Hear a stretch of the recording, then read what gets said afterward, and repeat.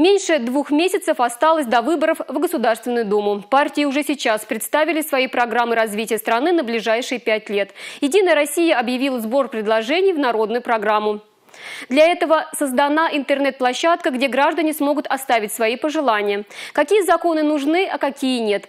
В итоге будет написана народная программа, которой станет придерживаться партия на предстоящие пять лет. На портале уже больше 100 тысяч предложений. Все они станут основой законотворческой деятельности партийцев.